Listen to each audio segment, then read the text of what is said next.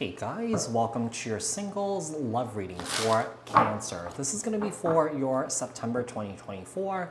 You can apply this to your Sun, Moon, Rising, Venus signs. We are going to take a look and see um, what is going on with you guys in love, what your blocks and challenges are in love, and then we'll finish off the read to see what else you guys need to know, look out for, work on, uh, if there's any new love coming in for you guys. So apply this to your own unique situations. Keep in mind that these are general messages.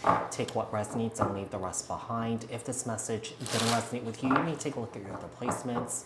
Keep in mind that these are collective messages for the collective cancer people, not tapping into one specific person's energies in particular.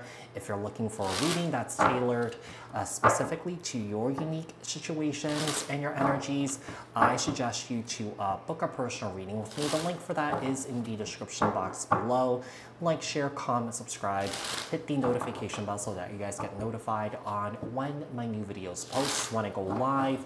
Also, if you guys are interested in following me on TikTok, Instagram, my other YouTube channel that's dedicated solely to my travels, the links for those are in the description box below. Support me on there too. So, tell me about single cancers.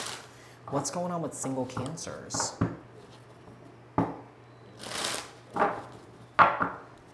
For September 2024, Sun, Moon, Rising, Venus signs.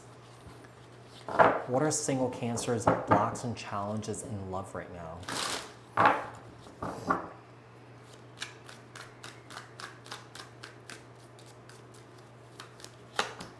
We have the Four of Wands. And we have the Six of Pentacles. Okay.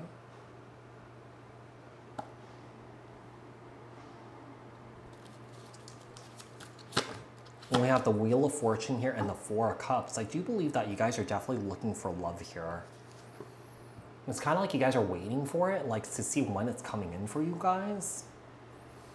I mean, one of the things I'm getting here is I feel like I feel like it's important for you to sort of like, okay, put it out there into universe and allow the universe in supporting you in bringing this new love in your life. But I feel like if you're constantly thinking about it and wondering about it, you know, you're kind of like in this energy of chasing it. You know, obviously when you are chasing it, it runs from you, right? So I feel like it's just important for you guys to sort of like do other things here and take your mind off it. Uh, we have the Four of Cups here and the Knight of Cups, Cancer, Scorpio, Pisces. And also the Two of Wands here. Hmm. Another thing is that, you know, I do feel like some guys could be in some sort of situationship where you're dealing with someone here that is dealing with other options. And you could be in this energy of like waiting for this person to make a decision on you here. You know, and I feel like you're being asked to sort of like not put your eggs in, all into one basket and just eh, kind of like put things into perspective that, you know, there's 8 billion people on the planet, you're bound to find, find someone else that you have a strong soul tie here with. You know, one of the things I'm getting here is I feel like you have to also, you know, maybe learn that, you know, settling for less than what you deserve, you know, means that you are settling, settling for less and that you don't believe that you deserve more here. You know, uh, we have the hangman here. So there is some sort of situation here that you might be in that you're having a hard time letting go of. You know, I feel like you're trying to shower this person with love. I feel like you're trying to shower this person with presence here. But some here is just non-committal here. The Wheel of Fortune. Page of Swords.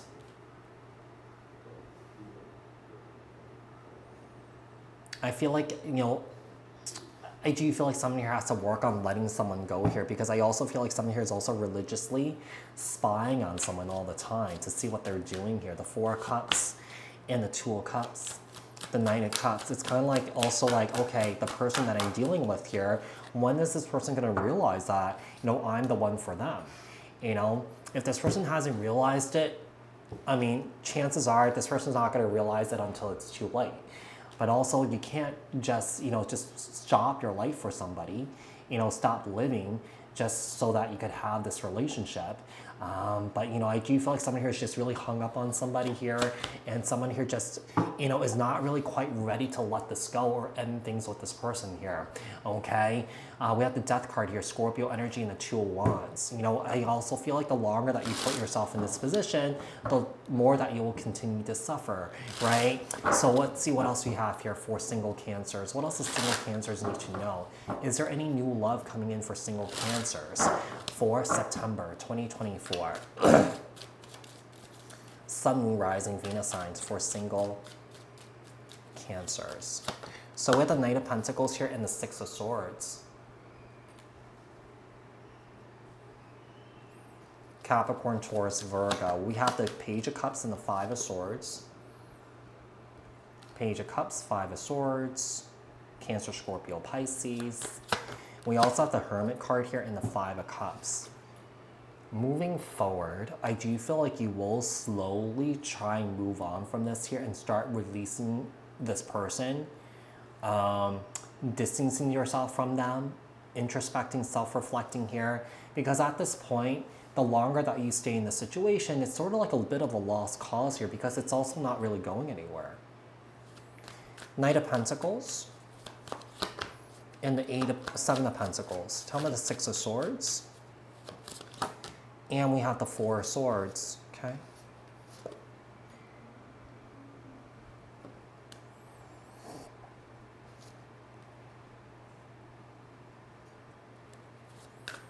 Page of Cups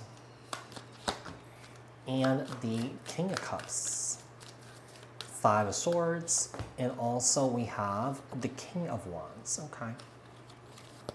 This could be a same-sex couple, doesn't have to be. Doesn't have to be here. But I feel like someone here is holding out for hope that someone here will choose you. Yeah, uh, you know, here's the thing, Cancer. I really, I uh, for this situation here, I wouldn't put all my eggs into one basket here because I don't really see this changing.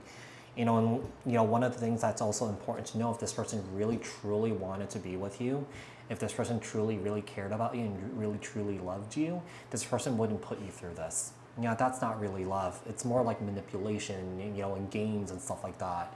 Um, tell me about uh, in control. Tell me about the Hermit card. Six of Cups, yeah. Five of Cups. And the Empress. I do feel like as you go through this here, Cancer, I do feel like you will level up here. Yeah, you will level up here. You're going through like a middle of some sort of like, you know, spiritual level up here. And I feel like uh, part of it was going through this experience with this individual and coming to some sort of major realizations and epiphanies here. Okay, what else do we have here for Cancer? We have the Eight of Swords.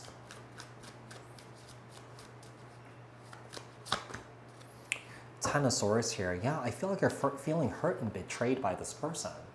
So you got to ask yourself, do you want to be with someone here that betrays you and hurts you? It seems like it's happening over and over and over again. Another thing is like, I feel like this person also can't give you what you want, but also they can't let you go. They keep you around for a specific reason because I feel like, you know, I feel like this person is just using you or that this person's a user here. Yeah, this person's just a user. Yeah, like I said, I want to put all my eggs into one basket here because I feel like with the Wheel of Fortune here, I do feel like you're destined to find somebody else better here. Not at this very moment because I feel like you have to let this person go in order for you to make room for this new person to come into your life. Okay, so uh, not Gemini, Cancer, I hope that this was helpful. I hope that this resonated. If it did, leave a comment down in the comment section below. Like this video, share this video, subscribe hit the notification bell, and I will speak to you guys in the next one. Thanks, guys. Bye.